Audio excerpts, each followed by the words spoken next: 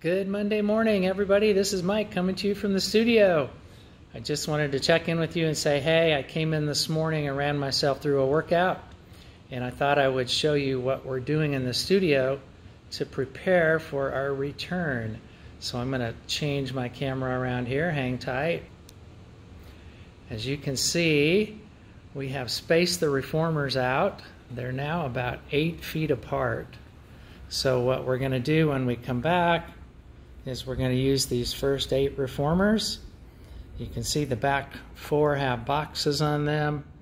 So we're going to take those out of service for a while and um, just use these front eight. So our initial class sizes will be eight people. We'll ramp up as soon as the authorities allow us to. Uh, hang tight a minute. There we go. So the plan is once we reopen to space the classes out about 15 minutes more than normal.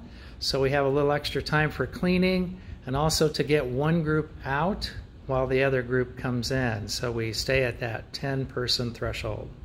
So we're taking precautions to uh, cope with this virus situation we have going on, and hopefully everything will be back to normal soon.